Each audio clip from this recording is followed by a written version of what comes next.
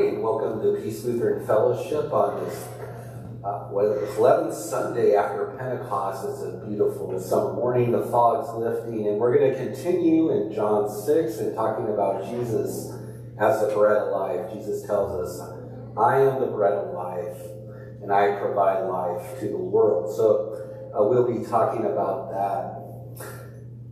That said, let us begin our worship. Blessed be the Holy Trinity, one God, the God of man, the God of miracles, the God of mercy. Amen. Drawn to Christ and seeking God's abundance, let us confess our sin.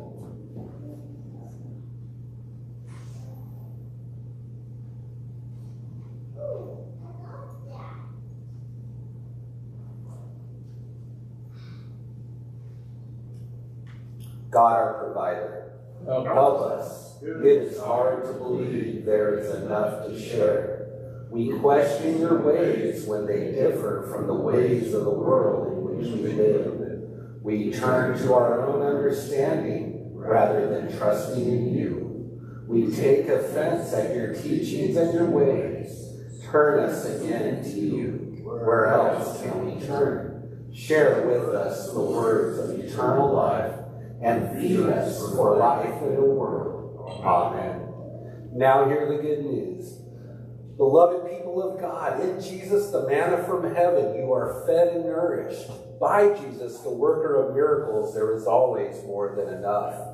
Through Jesus, the bread of life, you are shown God's mercy. You are forgiven and loved into eternal life. Amen. grace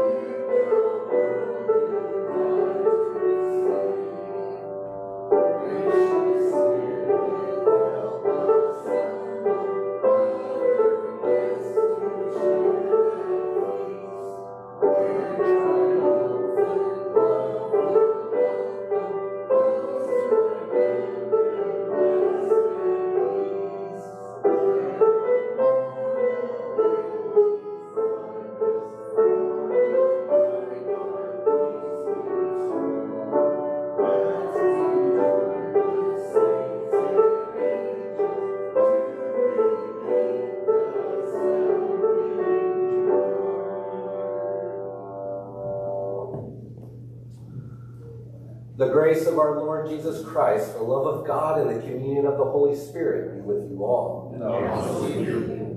Let us pray. O God, eternal goodness, immeasurable love, you place your gifts before us. We eat and are satisfied. Fill us and this world in all its need with the life that comes only from you. Through Jesus Christ, our Savior and Lord. Amen. Old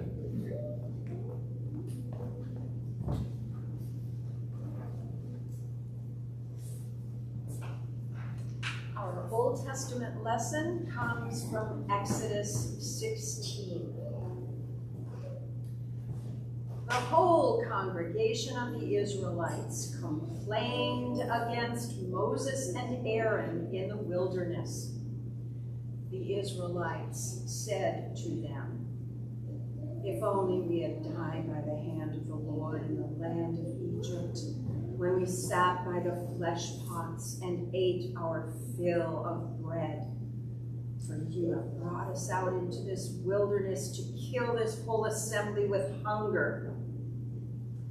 Then the Lord said to Moses, I am going to rain bread from heaven for you.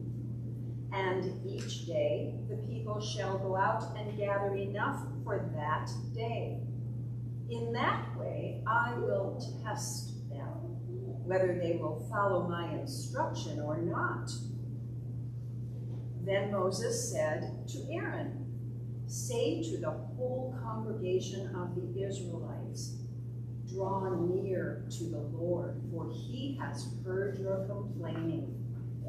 And as Aaron spoke to the whole congregation of the Israelites, they looked toward the wilderness, and the glory of the Lord appeared in the cloud. The Lord spoke to Moses and said, I have heard the complaining of the Israelites. Say to them, At twilight you shall eat meat, and in the morning you shall have your fill of bread. Then you shall know that I am the Lord your God. In the evening, quails came up and covered the camp. And in the morning, there was a layer of dew around the camp. When the layer of dew lifted, there on the surface of the wilderness was a fine, flaky substance, as fine as frost on the ground. When the Israelites saw it, they said to one another, What is it? For they did not know what it was. Moses said to them, It is the bread that the Lord has given you to eat. Word of God, word of life. Thanks be to God. Psalm 78, 23 to 29.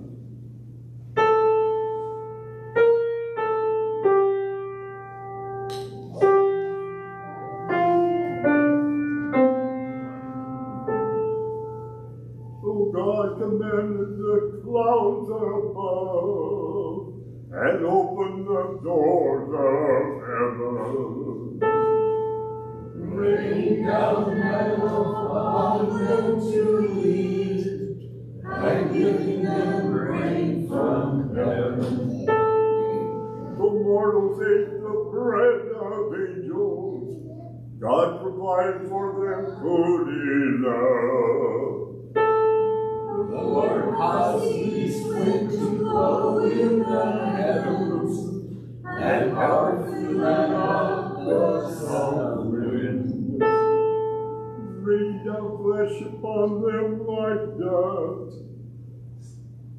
flying birds like the sand of the sun's sun. Let them fall in the midst of the camp, and round about the dwellings. So the people ate and were well filled, for God gave them what they craved.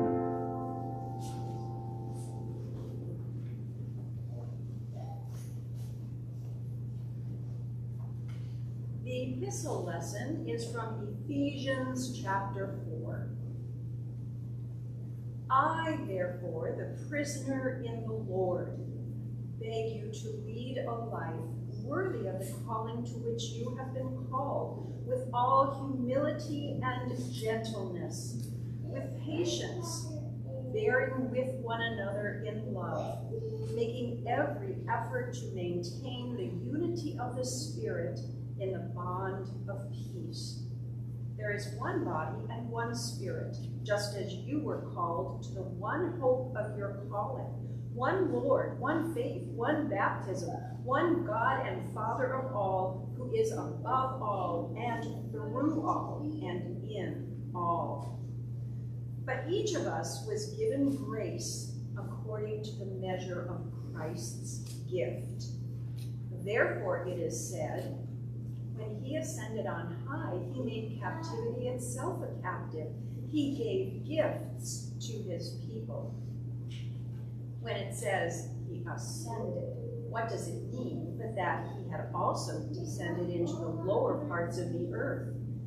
He who descended is the same one who ascended far above all the heavens so that he might fill all things. The gifts he gave were that some would be apostles, some prophets, some evangelists, some pastors and teachers to equip the saints for the work of ministry, for building up the body of Christ, until all of us come to the unity of the faith and of the knowledge of the Son of God, to maturity, to the measure of the full stature of Christ. We must no longer be children, tossed to and fro and blown about by every wind of doctrine, by people's trickery, by their craftiness and deceitful scheming. But speaking the truth in love, we must grow up in every way into him who is the head, into Christ, from whom the whole body, joined and knit together by every ligament with which it is equipped, as each part is working properly, promotes the body's growth in building itself up in love. Word of God, word of life. Thanks, God. Please stand if you are able for the gospel affirmation.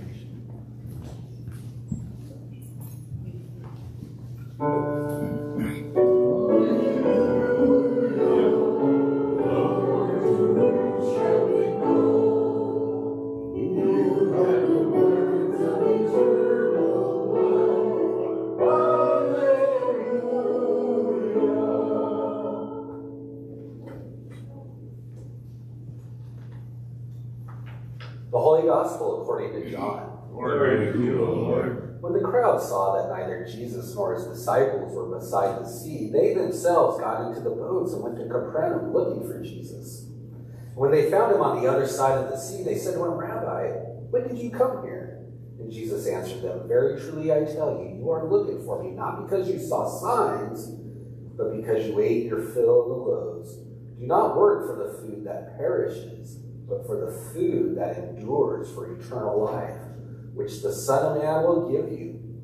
For it is on him that God the Father has set his seal. Then he said, Then they said to him, What must we do to perform the works of God? Jesus answered them, This is the work of God, that you believe in him who he has sent. So they said to him, What sign are you going to give us then, so that we may see it and believe you? What works are you performing? Our ancestors ate the manna in the wilderness, as it is written, He gave them bread from heaven to eat. Then Jesus said to them, Very truly I tell you, it was not Moses who gave you the bread from heaven, but it is my Father who gives you the true bread from heaven. For the bread of God is that which comes down from heaven and gives life to the world. They said to him, Sir, give us this bread always. And Jesus said to them, I am the bread of life. Whoever comes to me will never be hungry, and who believes in me will never be thirsty. The gospel of the Lord. Praise to you, Christ. You may be seated.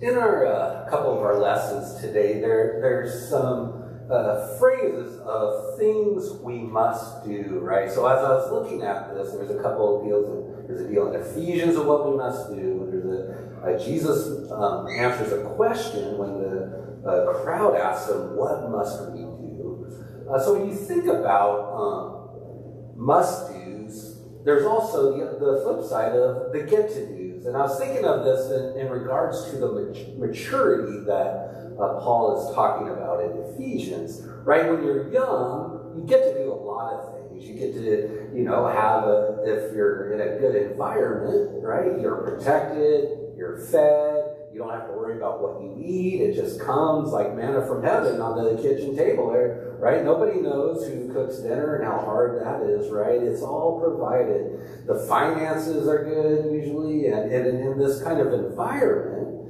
uh, there's significant growth and nurturing, and it's a protected environment, right? And that's why it's so um, traumatic for children if they're raised in any other kind of environment where their needs uh, their food, their uh, care concerns, and their nurturing are not met, right, there, there's significant harm that happens. So we know that we are meant uh, as youngsters to be nourished uh, and to uh, be provided an environment in which we can grow into the people we are meant to be, right? That is what uh, raising children is about. That's what I do, try to do with Noelle, is to provide an environment that uh, fosters her confidence, that fosters her joy, that fosters her ability to be able to uh, interact with a world that can be very strange and hard and difficult at times.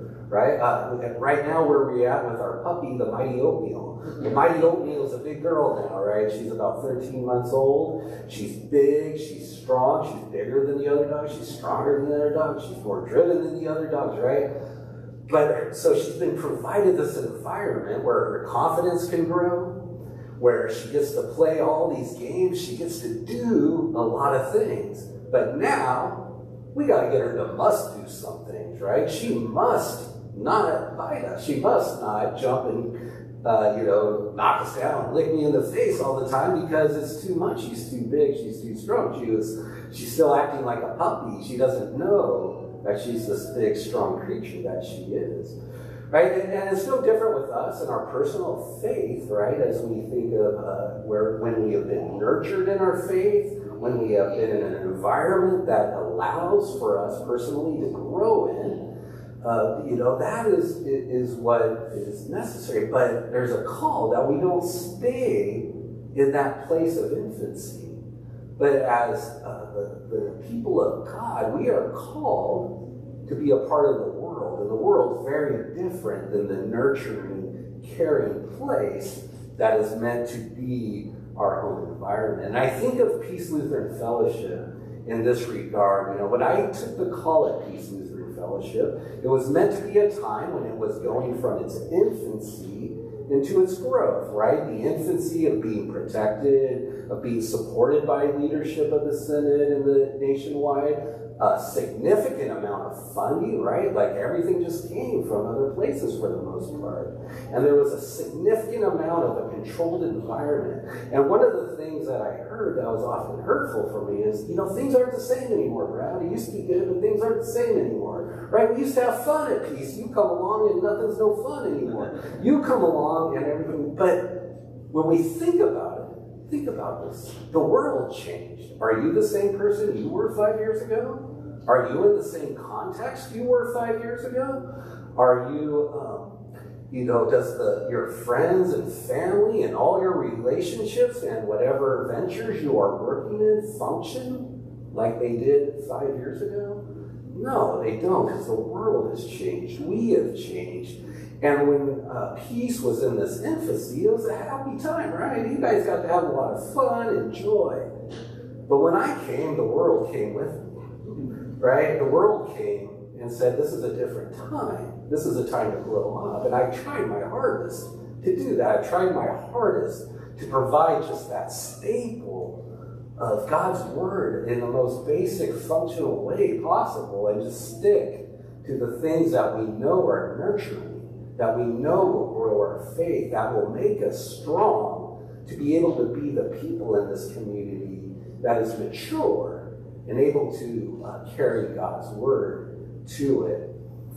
Uh, Luther says this. Um, he says, You have often, when he's talking about this text of John, he says, You have often heard me exhort you not to dispute or reason about sublime spiritual matters concerning the articles of the Christian faith. As soon as a person ventures to rationalize these things, to brood over them, try to make them conform to reason, all is lost and advanced. And we are doomed, right? So we're looking at a passage today And we're going to be uh, going through John 6 more and more. And, and Jesus just begin, begins to crank up the offensiveness of his teaching. Right? At first, he's just coming in and uh, he says, You know, um, I'm the bread of life. And then he's going to say, You have to eat my flesh and drink my blood. That's where we're going to get. And he's eventually going to get rejected by these people he's talking to. But right now, in this snapshot, uh, he's speaking to them. And what we see is this conversation is happening in Capernaum. It's across the Sea of Galilee from where Jesus performed the miracle of feeding the 5,000. He walks across the water, right? And uh, he retreated for a while, and then the disciples took boats, and they, um, Jesus, remember, he walked across the water, and the next day the crowd realized that they were gone. And they got into the boats, they went to Capernaum seeking Jesus. And in there, Jesus begins to have this conversation with them. And the people ask him, Rabbi, why did you come here? And Jesus then responds, telling them that they weren't seeking, or when did you come here? And, and Jesus says uh, that these people, they weren't seeking him. They weren't trying to be with Jesus because um, of what they saw Jesus do, the miraculous words of feeding 5,000, but they were simply there because their stomachs were filled and they ate and they felt good. So might as well come back for a meal, right?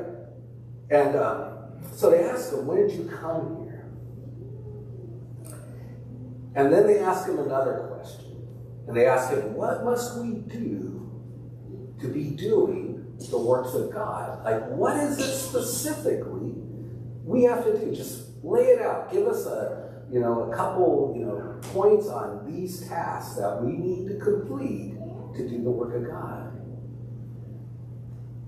And then they ask him in a sort of uh, not direct way, what are you going to do for us, Jesus? What are you what sign are you going to give us to prove to us that you are who you are? And Jesus answers them though, and he says that the work of God, the things that you need to do to do the work of God, is to believe in the one whom God sent, which is Jesus, God's Son. And then they ask him, well, what sign do you give us? What work do you perform. And then they explain to him how Moses gave their fathers bread from heaven to eat. And then Jesus turns the heat up on them and he lays into them. He says, You know, it isn't uh, Moses who gave you the bread. It wasn't It was God who gave you the bread. But Jesus uh, tells them, in order to do the work of God, you must believe in the one that he sent. And so Jesus tells us we need to believe and come and receive him. So how do we do that? How do we believe something? Can you even make yourself believe something? I don't know. It's just you kind of do or you don't. But we believe and receive him simply as one receives bread. Right? Do you believe it's bread? Do you eat it? Do you receive it? When we come forward in communion, we are given this uh, a, a, a, bread that is tangible, um, you know, the type of bread people eat every day. But it is also spiritually significant in which we bring in uh, Christ Himself into our very being. So, what we see here, though, is that we receive uh, Christ through God's initiation. Jesus says, I am the bread of life. I have come down from heaven and initiated with you. I have come. And in the beginning of John, it says that God, uh, that the Word became flesh and dwelt among us, tabernacled amongst us. And then it goes on when Jesus is talking to Nicodemus and he says that God so loved the world that he sent his Son. And God is seeking uh, those who would come to him and he initiates by sending his son to them, by sending, and through us, sending his people to them. We also receive through God's grace. And Jesus says, I am the bread of life. I give life to the world. It is me who is the author of life, who provides the sustenance, the true sustenance, the spiritual sustenance that we need. And then we see that this is motivated by God's divine love. Whoever comes to him will never be hungry. Whoever believes in him will never be thirsty. Right? The King James has a better term for this, whosoever. The whoso, and uh, there's this couple bands that used to be really good rock, well, they are good rock bands, right? They had a lot of problems. A band called Korn, right? One of the guys, the guitarist, uh, fell apart, and he found Jesus during that, right? So he's a part of with these other groups, and they call themselves the Whosoevers, right? Because that's all we are. That's all I am. I'm just a whosoever. Anybody who whosoever responds, no matter where you've been, no matter what you've done, no matter what is going on, whosoever receives the bread of life, receives life from God. And this comes through God's divine love and God's initiation with us. And so Jesus uses very strong language here. He says that he has come down from heaven, and what he is saying is he does not provide bread, but that he is the bread. And Jesus says twice in our lesson, I am the bread of life. And there's a lot behind this, right, of what Jesus is saying. When you think of bread, um, this is first of Jesus' first of the I am statements where he equates himself to the divinity of God, I am. But also we see that um, this bread, of course, is a very important staple of the people, right? When you think of bread, you think of um, your, your daily food. Uh, when they thought of bread, they thought of it as their whole, you know, kind of sustenance. We call it chicken, right? In my hood, we call it chicken. You got to mind your chicken. That's your money, your food, everything, right? But they would use the bread for that sort of thing. But bread is also very, very symbolic. Uh, it's symbolic in Genesis 3, after Adam and Eve ate the forbidden fruit, God says to Adam, By the sweat of your face, you will eat bread. Like, you're not going to get bread for free anymore. You're going to have to work for it. It's going to come through thorns and thistles. Uh, bread is equated uh, with their food, of course, but it's also equated with their work, right? That is how we uh, survive. And through sweat, God says, is how you're going to survive. And that's no different in ministry, right? it, it is through sweat that we will survive and grow. Uh, but also in the temple, there's 12 pieces of showbread. There's the unleavened Passover bread. And you remember when Jesus was tempted by the devil, he was tempted, one of the temptations was to turn stones to bread, to feed himself in that sort of way. And of course, we think of the Lord's Supper with the bread and the wine as the symbolic of, of Jesus' body and his blood.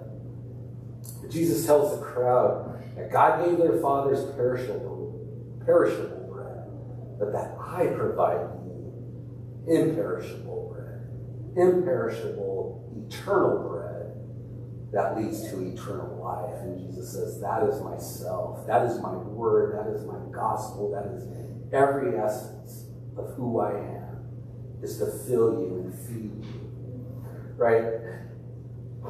And so what we see is that Jesus is this life giving bread. He says, I come from heaven, from God Himself, that I would come and live amongst you, and I would uh, give myself and my entire life so that you could be brought into a relationship with God and restored to health and built up as the person you were created to be. And that is no different corporately as well, right? We are called corporately and we are uh, given weekly Jesus' bread of his word, of his, of his forgiveness, of worship, and of all the things that we receive so that we can be made whole as a corporate body and that we may share this in a healthy way with our community. In Exodus, we see that God gives the Israelites manna, and the reason God does that is because everybody's complaining, right? Everybody's sitting around going, God, you took us out of Egypt. It was it wasn't any good in Egypt, but at least it was better than here. right? That's all they could say is, is Egypt stunk, but it's better than here. We were fed. We weren't, we weren't vulnerable. We didn't know what was going to happen. You know, it, it, we knew what our lives were like and because of that, we can learn how to live within that. Out in the desert, You have to learn to live a whole nother way. You have to learn to survive a whole nother way. And so they were nervous, they were concerned, and they were uh, beginning to complain God, why would you bring me here in order to kill us and starve us? Is what they were complaining about. Why would they do that? That's often where we find ourselves uh, into faith, right? That God nourishes us. I know my life, my life of faith was like that. At the beginning, I was nourished, I was filled, I had all these things. And then at some point along the way, I found myself in the desert going, God, why'd you take me out of this cool life I used to have with all these friends and good times and things I used to do? To make me come here and starve and die in the desert right? But those are just momentary times, and God says, I'm just uh, working on you. I'm keeping you alive. I'm keeping you sustained so that I can form you in the way you are needed, that is necessary for you to be my people in this world. And what we see in Ephesians is uh, Paul, he does something I think I do every week. He comes out and he says, I beg you, right? He says, I beg you Lead a life calling in which you have been called. I beg you to do this, right? And if you think about what's going on in Ephesians, their main issue is a conflict, and it's a conflict of ethnicity between uh, Jewish Christians and um, Gentile Christians, right? And he says, I beg you, lead a life worthy of what God has called you to. And you do this, the, the life we are called to lead is a life of humility, a life of gentleness, a life of patience, a life of bearing with one another in love, a life of making every effort to maintain the unity of the Spirit in the bond of peace. Right? And we do this because we, when we recognize that there's one body, one Spirit, one hope, one calling, one Lord, one faith, one baptism, one God, Father of all, who's above all, in all, and through all.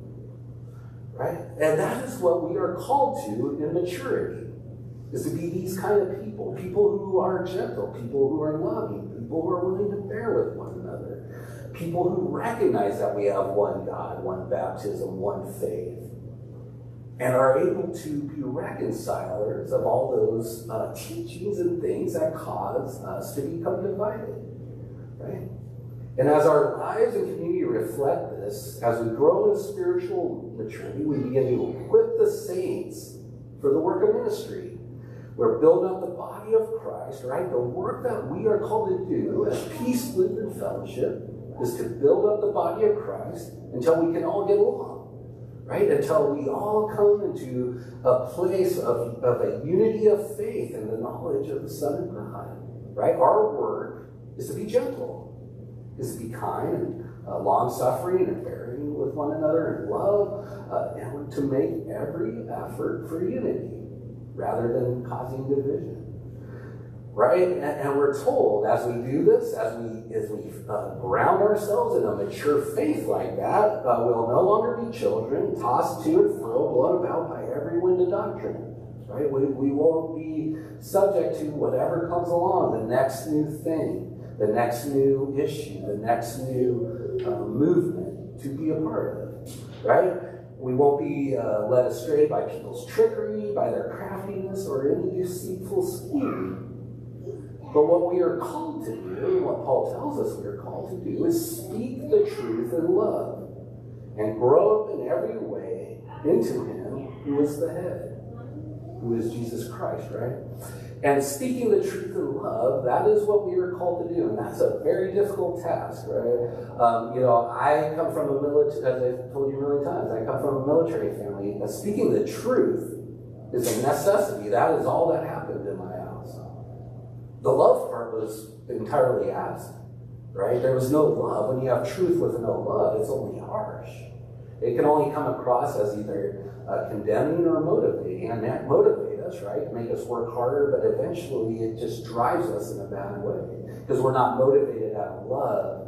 We're just motivated out of whatever truth we are told, right? But if we just have love with no truth, we're in an infancy, right? And that's kind of what infancy is. It's just being a loving environment, a caring, provisional environment. And you kind of keep the truth of the harshness of the world, the truth of what it's like, the truth of things uh, out of the minds of the children because you're protecting them. But what we are called as a people of God is to be mature both in ourselves and in our body, our community. And, and by doing that, we do that by speaking the truth in love. It says the whole body is joined and knit together by every ligament. Right? We are joined together. We, we are connected, if whether we want to be or not. Whether we choose to be uh, connected or not might be a part of our um, personal choices. But regardless, we're still connected in this spiritual sense of the body of Christ. And we are joined and knit together by every ligament which is, it is equipped. As part of it is working properly, right? As our body works properly, it will promote the body's growth and we will build ourselves up in love. And that's what Paul tells us through this as we receive Jesus as the bread of life.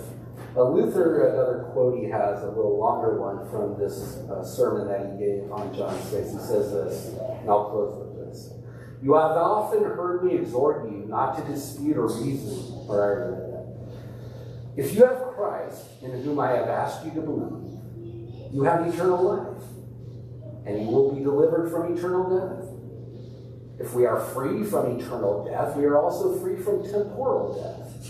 And all of the debts and obligations involved in temporal death, such as sin, are wiped out. And if sin is removed, the law too is gone. If the law is done away with and fulfilled, God's judgment and wrath are also gone. Devil, death, and hell are eliminated, and all is settled and arranged. Otherwise, this cannot be called eternal life. Luther goes on, he says, Now, if you believe in Christ, you have all of this. Hell has been subdued, sin is removed, death is overcome, and eternal righteousness, blessedness, and life are yours. Who can fully evaluate such a treasure? And then Luther gives a little statement, I'll leave you with this. You will assuredly experience someday that I did not mislead you about the value of faith. Let us consider that. Amen.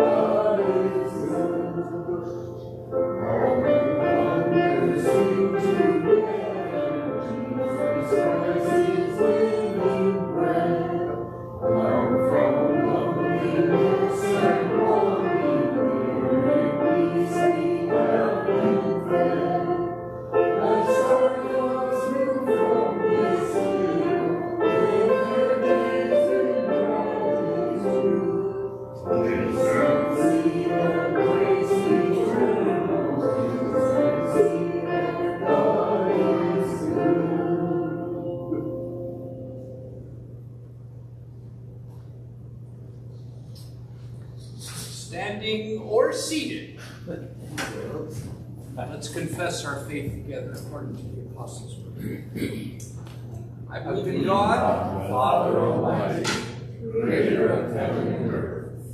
I believe in Jesus Christ, God's only Son, our Lord, who was conceived by the Holy Spirit, born of the Virgin Mary, suffered under Pontius Pilate, was crucified, died, and was buried. He descended into the dead. On the third day he rose again. He ascended into heaven. He is seated at the right hand of the Father, and he will come to judge the living and the dead. I believe in the Holy Spirit, the Holy Catholic Church, the communion of saints, the forgiveness of sins, the resurrection of the body, and the life everlasting. Amen.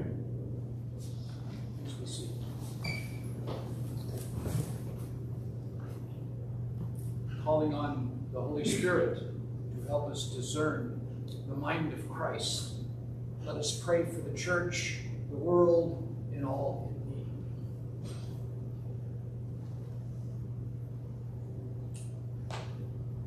Triune God, your loyal love toward us is evident since the foundation of the world. Fill us with your Spirit so that we may imitate your love and faithfulness toward one another and all our neighbors. Merciful God, because of Jesus. Creator God, you alone are the source of all life, and you are alone our salvation. Fill us with your Spirit so that we may serve your interests with single minded devotion. Merciful God, because of Jesus. Receive our prayer.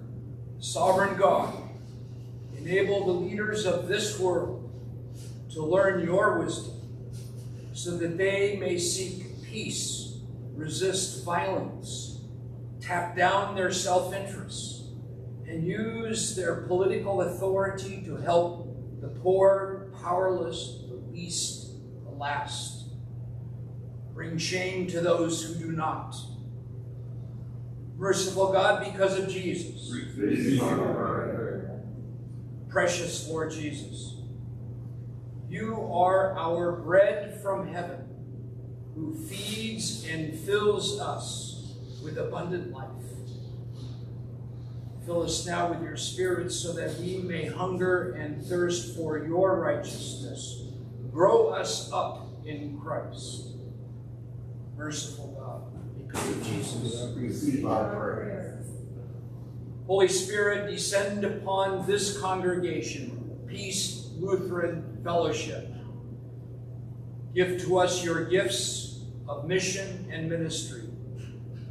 Baptize us into your power to replace our fears with courage, our hatred of others with love, our apathy toward your reign with renewed commitment to your kingdom. Merciful God, because of Jesus. Healing God. We humbly admit we are a needy congregation. There are dear friends among us who are sick and need healing, others who are caring for loved ones who face hard times and end times. Join with these and their medical teams to help those who seek healing. They might find comforting mercy in time of their need. We name them now Fred and Jean, Bill and Barb, Al and members of his family, Cynthia as she recovers from surgery, and Marlene as she faces surgery. Now let us name still other friends, neighbors, and family aloud or in our hearts who need healing.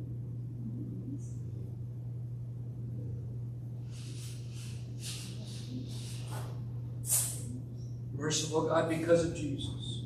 Receive our prayer. We pray as well for those who are lonely and need friendship. who despair because they need hope,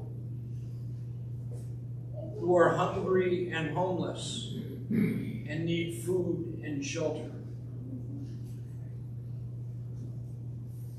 May we be generous toward them as you are toward us. Merciful God, because of Jesus. Triune God. Let me remind you of your promise to never leave us or forsake us. Find us now, Lord, even as we seek you now. Help us limp into your embrace right now, today, loving Lord. Merciful God, because of Jesus. We lift up these intercessions to you with grateful hearts. And all God's people say, Amen. The peace of Christ be with you always. Let us share that peace with one another. Peace.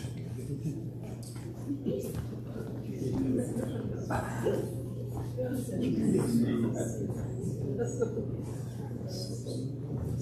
God's peace.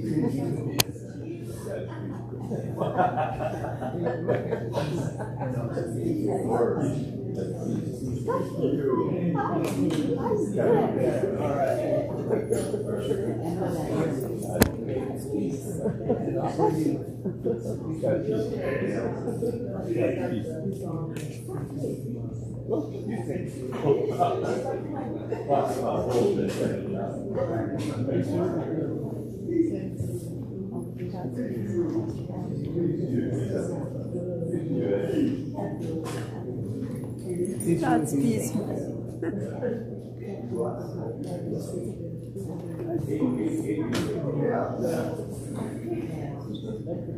Now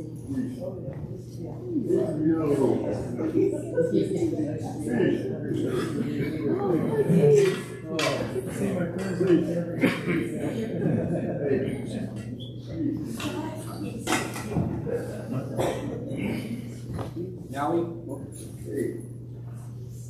Now we continue our worship with giving. Jesus,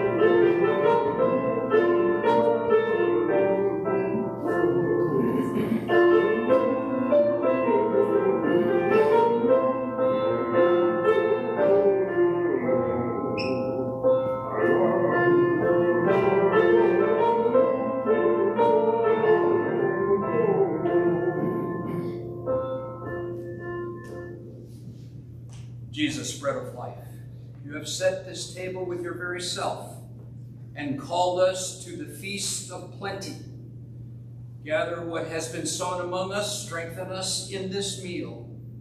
Make us be what we receive here, your body, for the life of the world.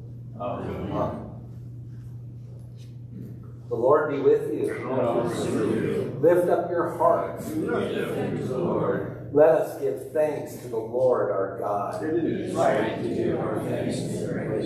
indeed right, our duty and our joy, that we should at all times and all places give thanks and praise to you, Almighty and merciful God, through our Savior Jesus Christ, who on this day overcame death and grave, and by his glorious resurrection opened to us the way of everlasting life. And so, with all the choirs of angels, with the church on earth and the hosts of heaven, we praise your name and join their unending hymn.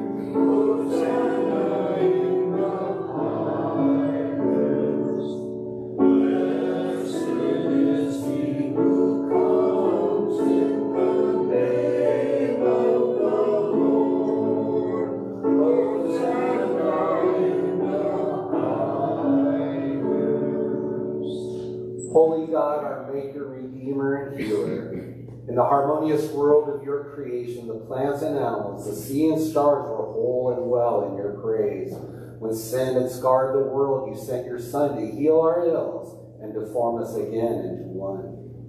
In the night in which he was betrayed, our Lord Jesus took bread, gave thanks, broke it, and gave it to his disciples, saying, Take and eat. This is my body given for you. Do this for the remembrance of me.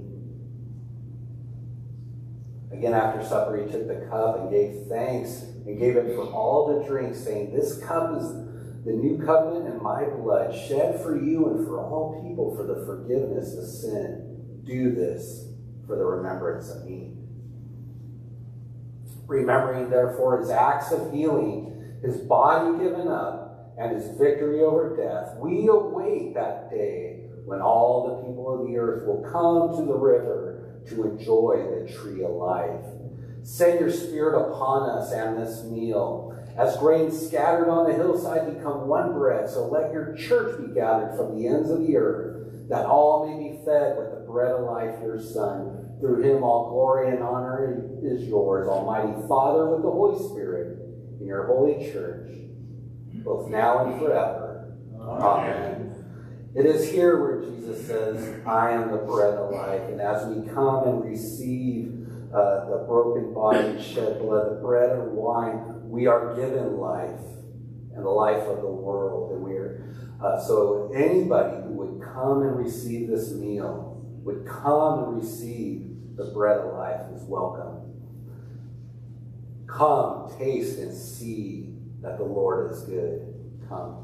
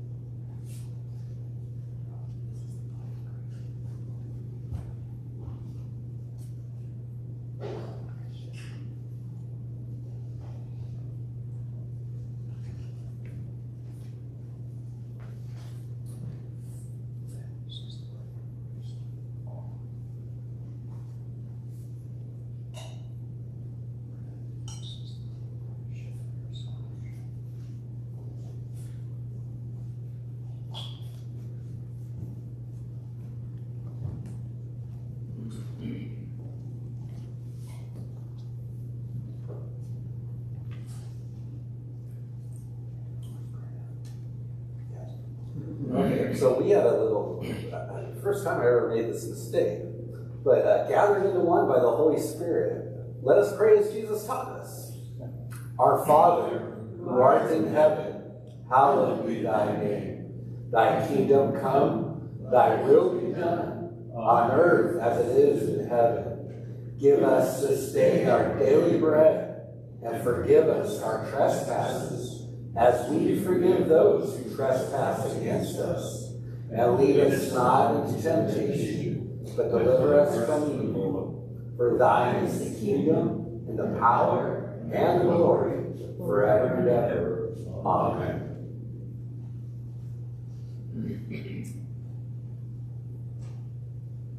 Jesus, bread of life, we have received from your table more than we could ever ask.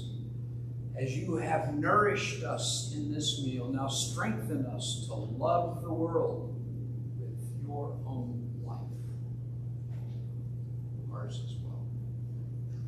In your name we pray. Amen.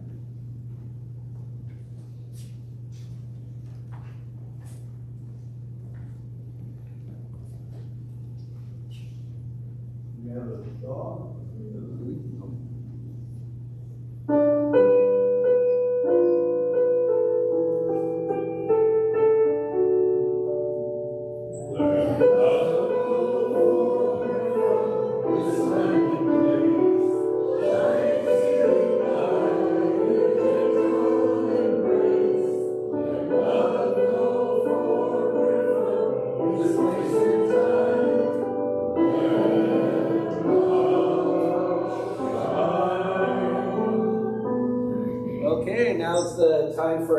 Announcements. Do we have any announcements? Anybody like to give? Okay, we'll just say again on Wednesdays at uh, 10 a.m. we have our tech study. It's growing. People are coming. We had Dick Duffy last week. Uh, Carol's coming, so you got to come to the office. We're on Zoom as well if that doesn't suit you. But if you haven't tried it out or checked it out and you'd like to just pay a visit and see what happens, just come by and we'll have you know talk about this, the same text that we're talking. And if you really don't like the message and you say, I want to get in there, I want to, I want to have an influence on the sermon, come to the study, drive it, you know, bring it, bring it to the, and it will be in the sermon for better or worse. So you got to be careful, right? Oh, With that being said, now receive the blessing. The blessing of God who provides for us, feeds us, and journeys with us be upon you now and forever. Amen.